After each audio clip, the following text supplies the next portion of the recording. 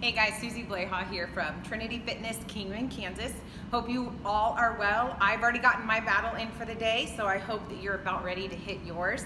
Uh, I just want to share a little bit of information with you. Sometimes our Devos are inspiring and, and sometimes our Devos are educational.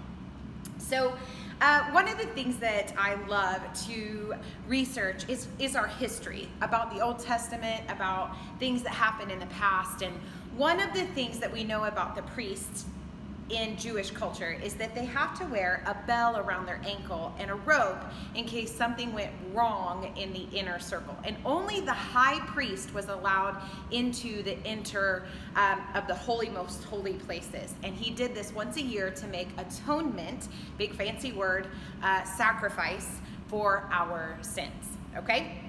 And so, um, here's the interesting thing is that we're going to fast forward to the New Testament. And if you don't know anything about the Bible, the Old Testament is God's old promise and the New Testament is God's new promise. So we're headed into the new promise of, of God. And it says in Hebrews 10 12, but when this priest, speaking of Jesus, had offered for all time one sacrifice for sins, he sat down at the right hand of God.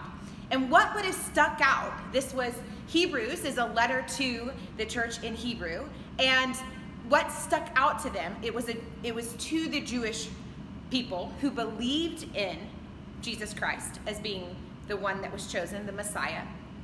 And what would have stand out about this is that the priest sat down because they didn't do that in their culture. Priests didn't sit down while they were making atonement for sin because it was ongoing. Every year you had to make atonement for sin.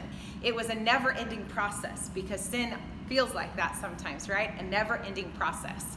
So, I, what I want you to know is that this priest, speaking about Jesus, for all time, forever and eternity, made one sacrifice himself to take care of sin. He sat down. And that's your challenge to sit down. It's taken care of, okay? Whatever you're struggling with today, it's not more important than loving God and loving people.